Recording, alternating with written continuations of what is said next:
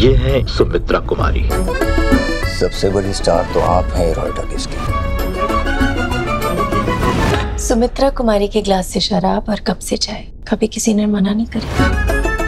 Roy talkies में किसी का क्या भला होता है? आप रॉय के खिलाफ क्यों जाना चाहती हैं? मदन कुमार की बर्बादी के लिए।